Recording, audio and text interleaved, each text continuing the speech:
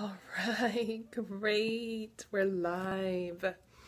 it always seems to take twice. It always seems to take two tries, you guys. I don't know why, but I got to start leaving uh, a couple minutes because, because it always takes like twice, two tries to get on here. As you're jumping on, say hello. Let me uh, do my little gig here. Hi, who's here? Say hi.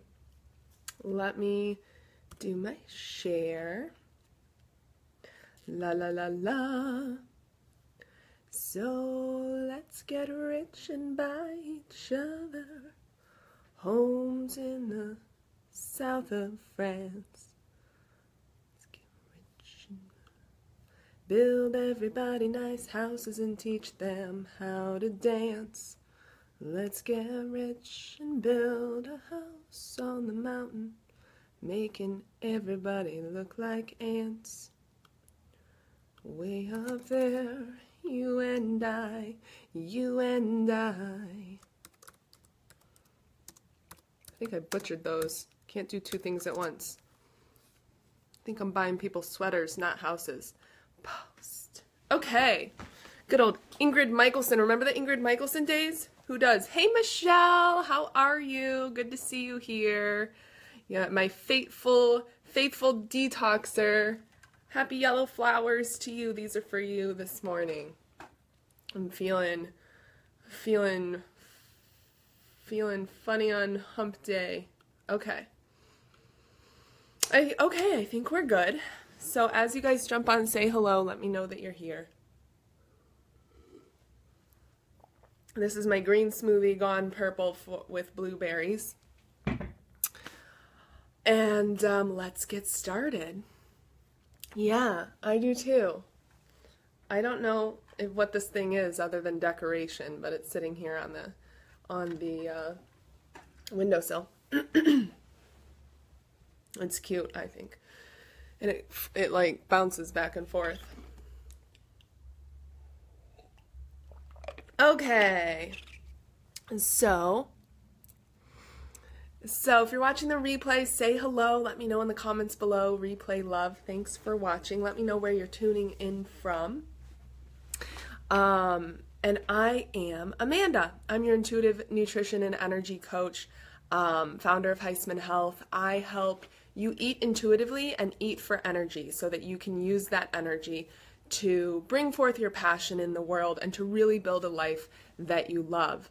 Uh, I also explore the spiritual and emotional sides of nourishment that go right along with eating more intuitively and getting back in touch with our beautiful bodies.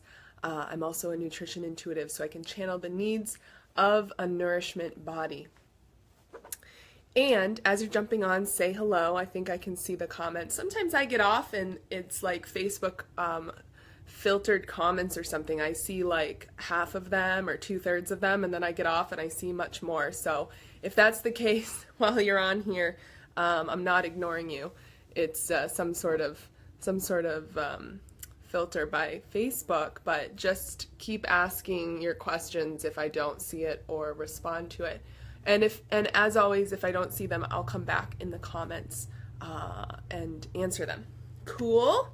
So, we are doing a detox series. Last week we did energy building basics. This week we are talking about detoxing, and we're talking about detoxing in a really uh, simple tip each day, a simple thing to do each day to help the body's natural function of detox and cleanse, right? The body has a natural cleansing function, so we are supporting that. Um, we're not doing anything too crazy or extreme. What we're doing is supporting the ongoing cleansing that the body is always doing.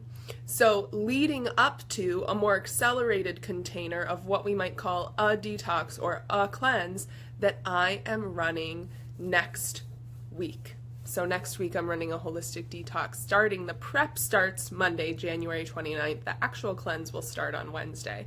So if you're like, oh my gosh, that's so uh, soon, I can't possibly get ready in time, don't worry, uh, because we do all the prep and the getting ready together for two days.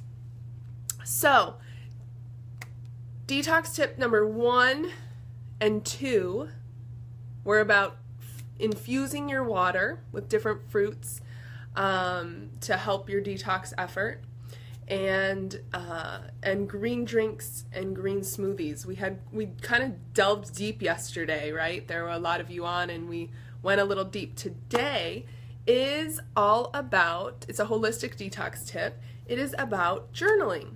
So I want to talk about for a second as we look at the 360 view of health, physical, emotional, spiritual, mental how journaling can help our detox effort. Because what I see all too often is emotions getting stuck in certain places of the body.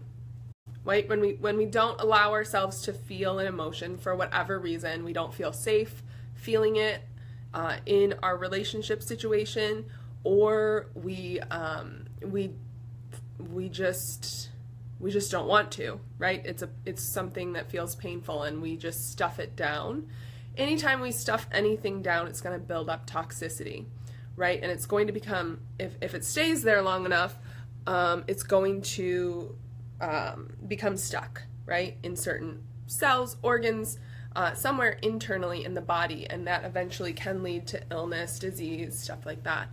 So I see it a lot. Um, and writing and journaling is one of those ways to to kind of release stuck emotion or at least get in touch with what we are feeling. Sometimes we don't even know how we're feeling because we're busy, we're going throughout the day, we're accustomed to pushing things down and waiting till the end of the day to even feel things. Emotions are meant to be felt. They're meant to be experienced, right? They're meant to come forth and, and, and feel first. Like we like to think about them first. Like, um, is this like, like justify them? Like is it, it is this rational? Is it like we want to uh, is it justified that i feel this emotion? Am i worthy to feel this emotion? Um, is really what we're asking. Or sometimes we think that things like anger or something like that isn't a spiritual enough emotion to feel. So we hop right over it saying i'm fine i'm fine right uh, when really that emotion, all it needs to do is flow through, it needs to be acknowledged, um, it needs to be acknowledged and felt, and then flow through, uh, and then it's it's gone. It's released. We release it with love. We thank it for showing us whatever it is that we needed to see in that moment, uh, and then it's gone. And possibly we may need to forgive uh, that emotion if we have some judgment around it, but you see this with kids all the time, right? They do this naturally. They can be like throwing a tantrum one minute and happy as clams the next, right? Like just licking their lolly the next minute. Um, because that's the natural state is for they they they feel that sadness or that pain or that grief or that emotion in whatever it was and there's no judgment around it because they haven't been taught to judge that emotion yet by society or whatever and their kids. And then they feel it and then they move on. So um, a lot of us who've lived some life right who have some decades behind us uh, have stuck emotion um, somewhere, whether consciously or unconsciously um, or subconsciously, right? And it's an easy practice to get in the habit of just writing out first. If if you are, let me know if you're a journaler below because this seems to be a polarizing topic usually. Um, usually people are either journalers or they're not, like love it or hate it sort of thing. So let me know in the comments below if um, if you're if you love it or you don't, if you're into it or you're not. Uh, first, let me know that. So I've been a journaler for quite some time, um, even before you know um, people were selling prompted journals and uh, you know morning pages and stuff like that, and really um, touting it. I I had several journals. I had one. I have one that's called a Happy Thoughts book that is exactly what it sounds like. I put my happy thoughts in it so I can come back to it and read it. I have a quotes book. I have a dream journal. I have a journal that is strictly for like writing the um, the junk out, the mind chatter, and that's a lot of what I'm talking about here. Right? Is is dumping that that like uh, mental dump, that brain dump, uh, is is a good first first uh, place to start because otherwise we're carrying these thoughts like it's kind of chaotic in there.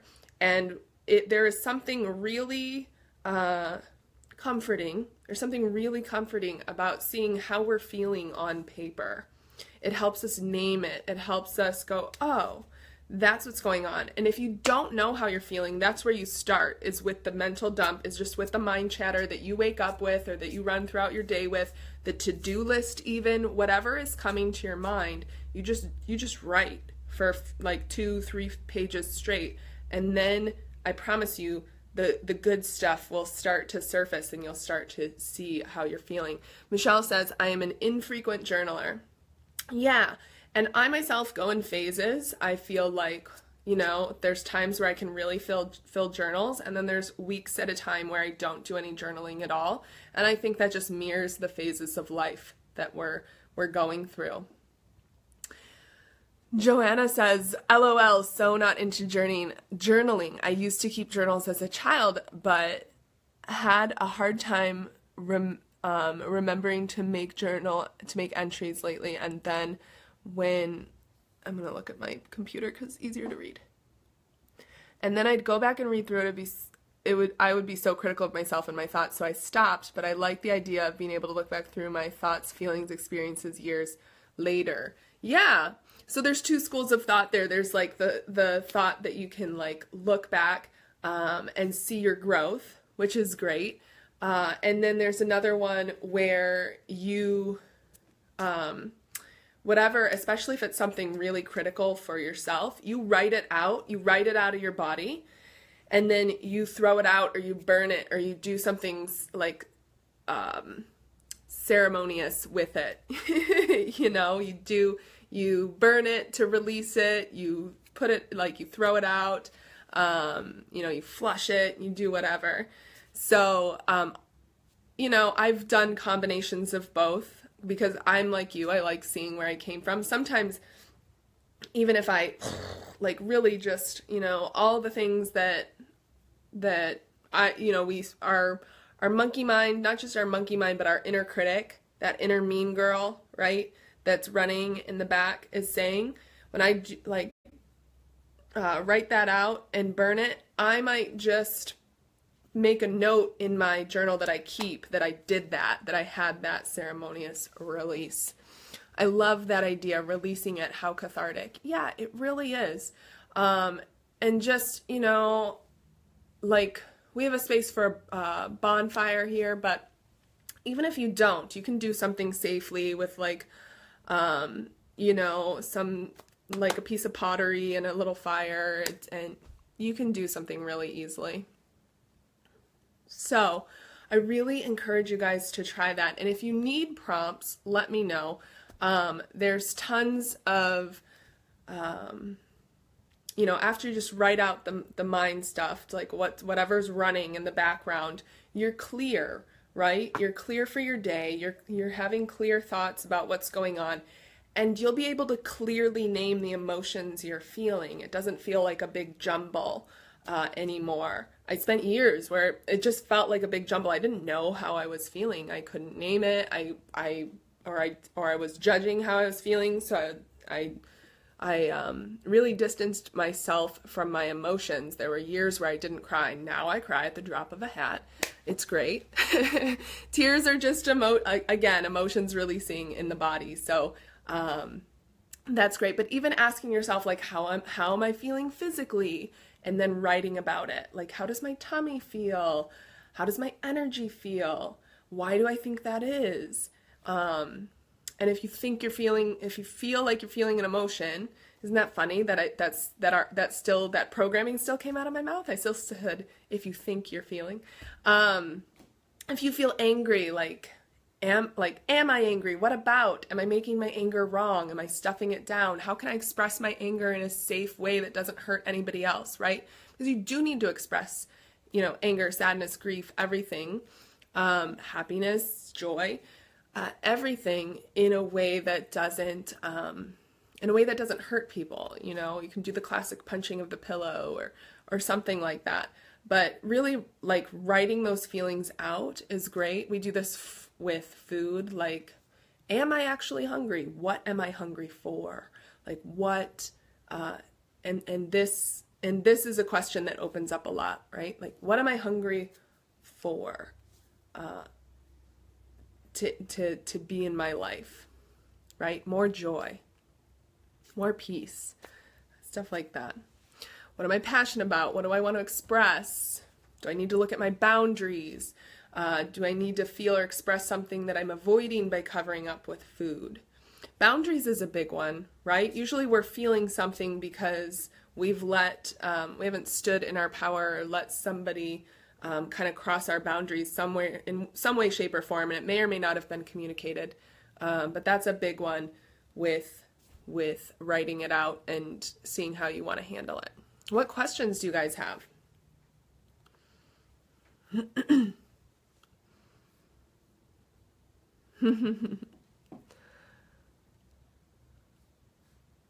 awesome. So, yeah, Is it just uh, bounced over. I don't know what that was. So that is today's. I want you guys to give it a go, see how it works for you, um, see what comes out, see what mind chatter plays out for you. Um, and definitely try to get to the underlying emotion behind what's going on, uh, behind what what you're writing there. And um, this is all we do a lot of this together in the holistic detox, uh, which is starting next Monday. And I will drop the link with the entire description. I went into it in a lot of detail in yesterday's live, so I'm not going to go into it in a ton of detail today. Uh, but the holistic detox is great. We have a um, we have a really supportive group of wi- of women and men um, going through a detox together. Either you know the detox itself is three days with either five days of support or ten days of support. So it's priced from 197 to 397 depending on the option that you get and we have had extraordinary results from that. Some where uh, not only in the physical, but some people had toxic relationships detox out of their lives and different things um, detox out of their lives. So we do a lot of journaling uh, in that detox, and you're supported in the emotional detox that inevitably comes up with the physical detox. This is primarily um, a cleanse. Um, um, a colon cleanse, but we support all the organs and all the emotions. If someone has budget to do either the detox or the personal profile, oh, the personal power profile, um, power eating profile, like a, that's a personal nutritional profile. Which one do you think is best? That's going to be highly individual and depending on. Um,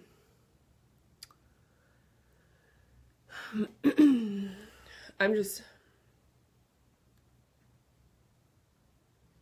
feeling into your energy, Michelle. Let's talk um let's talk one to one. Like uh, message me because this uh, they're totally different, right? The the nutrition profile is something that I create for you both with um, with both sides of my training intuitively uh, and formally and um, you get kind of a report to follow on your own. So they you don't have like a support group there, um, but you do get some really individual support. The cleanse is very much a reset, and the energy is very, very good for this right now in the collective. But I'd love to talk to you just really quickly over Messenger and see what works best for you because that's going to be individual based on what's going on in someone's life right now. Does that make sense? Message me and um, we'll do a quick we'll do a quick review. All right, you guys. I will be back with holistic detox tip number four tomorrow at 11 a.m. Eastern, and I can't wait to see you guys there. In the meantime, tell me how your journaling is going. Tell me how your infused water is going. Tell me how your green drinks, green smoothies, green juices are going. All right. Either one is fine, Michelle. Either one is fine. I'll talk I'll I'll look right now. All right. Love you guys. Bye.